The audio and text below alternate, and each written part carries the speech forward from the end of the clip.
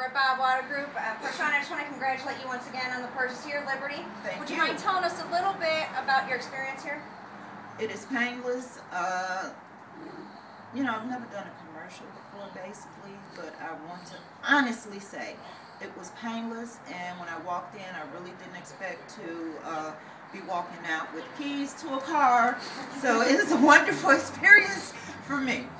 They helped me. They can help you too. Thank you very much. Mm-hmm. Congratulations. Thank you.